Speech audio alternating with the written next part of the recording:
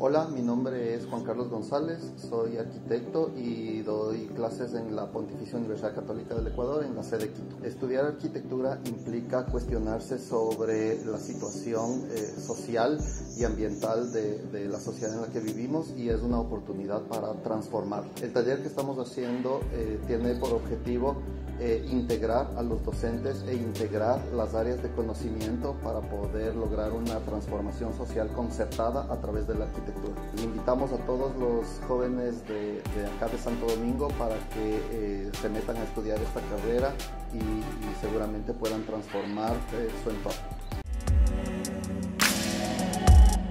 Pontificia Universidad Católica del Ecuador, sede Santo Domingo.